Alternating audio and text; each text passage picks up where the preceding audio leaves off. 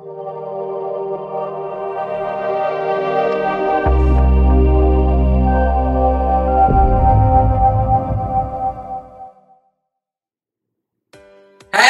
welcome, welcome. This is Marcus Boles, President and CEO of Customized Minds. Thank you for joining me, tuning in, getting some more great information. It's of course going to inspire and empower you. You know, I'm pumped up. We got some more great information coming to you that is going to inspire and empower your life. So you, of course, can be that super achiever that you're looking to be, that I know you are, and of course, maintain that status. Today, we got another great topic, so let's dive straight in. We're going to be talking about finding your solution. Yep.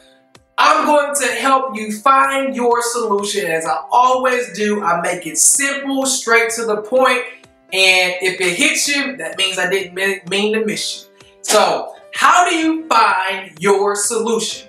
Well, a lot of us, of course, we have problems, right? You know, yeah, you have a problem, I have a problem. You know, we've experienced some different things. We all have challenges, adversities, something that we're looking to overcome in our life, whether it be, you know, massive such as depression or anything like that, or simply, you know, overcoming a hurdle in business, you know, running into a barrier or what feels like a setback, whatever the case may be, we all have different problems, challenges, adversities that we're looking to overcome. Here is what's sweet about this, right? You're not the first.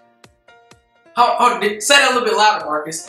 Hey, you are not the first that is experiencing the problem, challenge, adversity that you are facing in this world.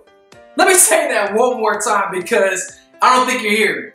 You, yes you, right here looking at me, you are not the first to experience the problem, the challenge, the adversity that you are having right now in this world. Why is that good news? Well, it's good news because you have access to information.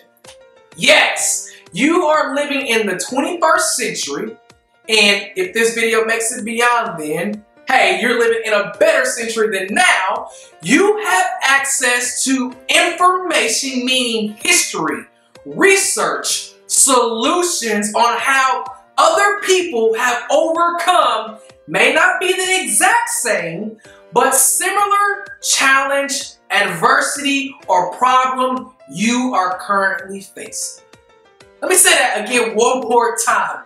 You have access to information, history, solutions that people have experienced similar to what you're going through. Therefore, you can utilize what they have done and maybe shape it and mold it in your own unique way to overcome what you are looking to overcome.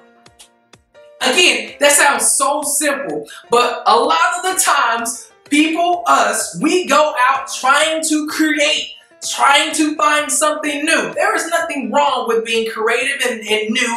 We are creative beings by nature. But at this point in human history, we are now actually just recreating, taking bits and pieces of problems and so, uh, solutions from other places, other things, history, and information, and creating a new solution.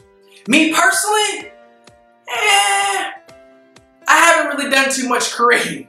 I have done part two, taking information and solutions from other people, from other things, from other history and past, and creating something new. Yes, because I understand what you might be going through or someone else might be going through may be the same or similar problem that I have that I'm looking to solve and share with the world, but I don't have to start from scratch. I can honestly start at 90, 95% of the way to the new solution that I'm looking to create by leveraging what I just shared with you. And I want you to do the same. See, regardless if you're depressed or if you're worried or if you're trying to overcome something, utilize the internet, utilize the information, utilize your resources that you have at your fingertips to get you your solution. I promise you, it's there. You may have to do some tweaking to it, You may have to pull from multiple sources, but the solution you are looking for is right at your fingertips. And I'm gonna leave you with that.